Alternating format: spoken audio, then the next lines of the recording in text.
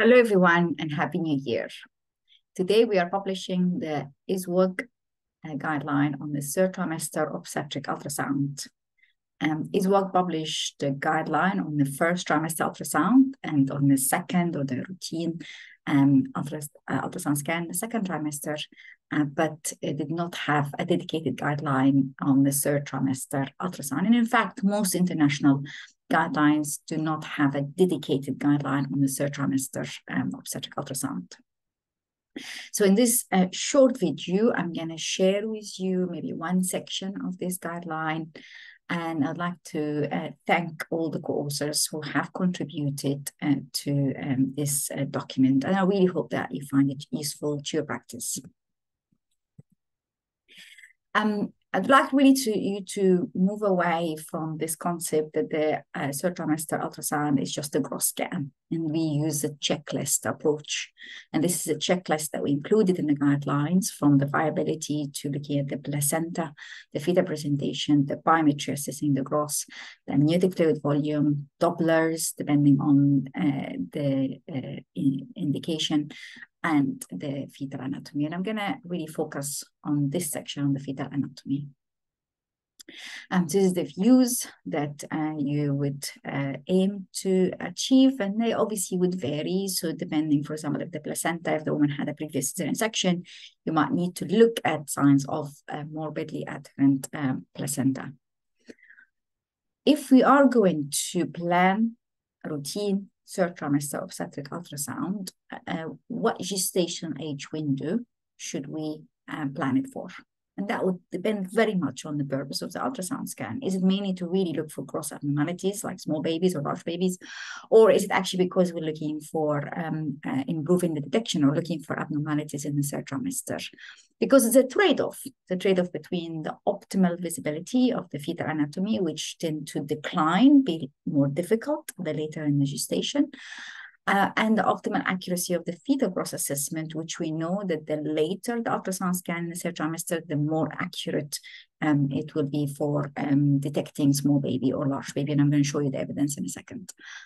But if your focus is mainly about the growth abnormalities, in this case, you um, should plan the routine trimester ultrasound scan about 35 to 37 weeks. But if you want to look for anomalies, it will be earlier at 31 to 33 weeks.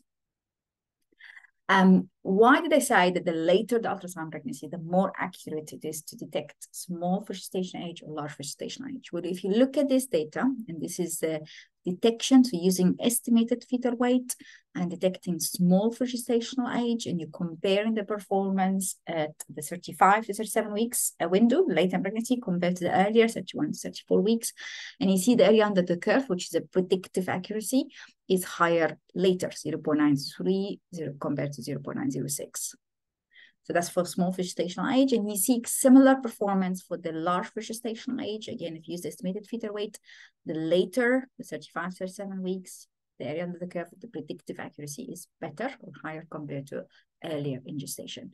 And therefore, in the guideline and document, we recommended or included that the timing of the third trimester ultrasound scan, it depends really. If you're looking at the gestation age between 32 and 36 weeks, it depends on the, the, the, individual maternal fetal characteristics. It depends on the risk profile. It depends also on objective and, of course, the resources.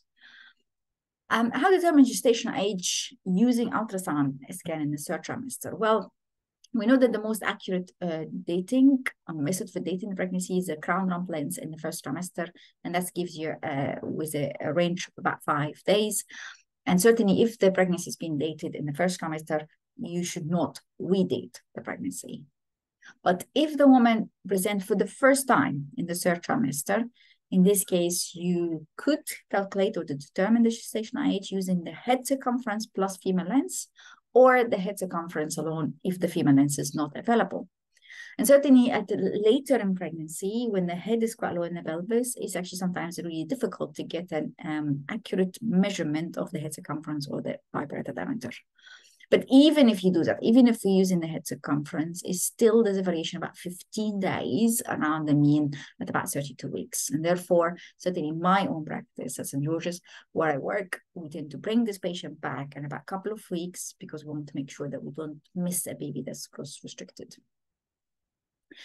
Um, I mentioned earlier that I'm going to focus on sort of this checklist about this uh, fetal anatomy. And um, if we talk about the fetal anomalies detected for the first time in the third trimester, it could be one of three things. Is it could be missed, we haven't seen it before, maybe difficult baby's position, maybe the mother is um, the, the high BMI, or actually the natural history of this condition would not be detectable earlier.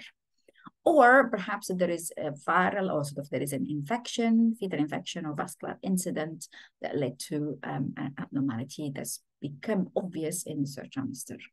So how common, the fetal anomalies detected in third trimester, how common and what type of anomalies we would uh, expect to see? Um, well, uh, it's about four per thousand uh, of pregnancies will have fetal anomalies diagnosed in the third trimester. And the most common being urogenital. More than half of them are urogenital abnormalities. And CNS is about 15%, and heart abnormalities about 15%. In this um, screening study where women had a routine uh, trimester ultrasound scan between 35 and 37 weeks, the incidence of abnormalities is about 2%, but this 2% is divided into about 70% of them were abnormalities that were detected earlier, already in the first or second trimester, quarter of them were detected for the first time in the third trimester, and about 7% detected for the first time postnatally even. So there will be abnormalities that will not be detected even if you do ultrasound throughout the pregnancy. I mean, you could argue what's the benefit of diagnosing fetal abnormalities in that late gestation? Uh, well, there are there are multiple benefits, in, and that potentially lead to improving postnatal outcomes from selection of the timing and place of delivery. There will be some uh, abnormalities that need to be delivered in a surgical center or a center with tertiary level facilities because the baby needs an immediate intervention or postnatal investigation, or even sometimes we have fetal intervention that could actually improve the outcome, like maybe the, the vein of Galen or um, the, um, for example, putting a shunt.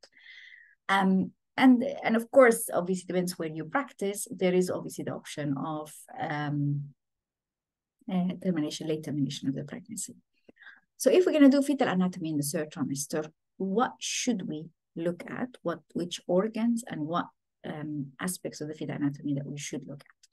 Well, if you get, go systematically, so from the head, you obviously the size and the shape because uh, microcephaly diagnosed when the head circumference is below three standard deviation from the mean, and also looking at the shape of the hand because uh, you uh, uh could uh, craniosynostosis, for example, which is often diagnosed in the third trimester, uh, brain, you look at the symmetry of the hemispheres, the ventricles for the, because of ventriculomegaly, but also looking at the texture of the cortex and the parenchyma, um, because you're not really, you should not be expecting to see intracranial anechoic or hypoechoic uh, areas at this stage.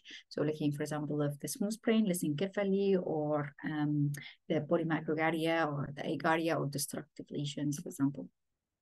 The heart is the same as what you would uh, expect in the second trimester. The situs, the size, the symmetry, four chamber view, the outflow tract, the three vessel trachea view, um, the normal cardiothoracic circumference at this uh, gestation will be about 0.45, should not really exceed half of the size of the chest.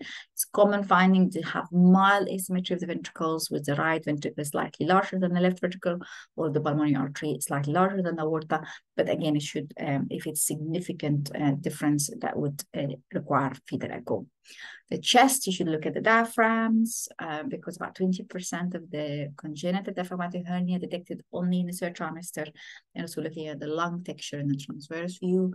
The abdomen, you might find the abdominal cyst, you might find the ascites, you might look at the um, calcification uh, or bowel dilatation, which is not commonly seen in the third trimester. And not all of it is pathologic, but the most pathology is associated with small bowel dilatation more than 14 millimeter, and um, in many cases will be associated polyhydramnios. Finally, the urinary systems, we need to demonstrate the normal appearance of the two kidneys and the bladder, because about more than half the cases of hydronephrosis detected in the third trimester. Um, how do you diagnose hydronephrosis in the third trimester? The cutoff for the anteroposterior diameter of the renal pelvis should be seven millimeter in the third trimester And when you have severe hydronephrosis, defined as an anteroposterior diameter of more than 15 millimeter, that's usually predictive of the need for postnatal surgery. And of course, once you have hydronephrosis, you look at the other uh, parts of the urinary systems, including the ureters, the bladder, and you look at the bladder, you look at the size, you look at the thickness of the wall and the emptying. Um, and therefore, we recommended that the basic anatomy evaluation in the third trimester should include examination of the head, brain, the heart, the chest, the abdomen, and urinary system. Finally, is routine third trimester obstetric ultrasound scan recommended? And the answer is no. Um, and certainly there is, you know, the evidence is controversial, but at the moment there's no convincing evidence that routine universal third trimester ultrasound examination in a low risk population improves either perinatal or maternal outcome. So this guideline is not about recommending routine universal third trimester ultrasound scan or not, but if you would perform an ultrasound scan in the third trimester, what would be the checklist? What would be the things that you look um, you look at? Um, so I'm going to stop here. Thank you very much for your attention. I really hope that you enjoy um, uh, reading the, the article and find it useful for your practice.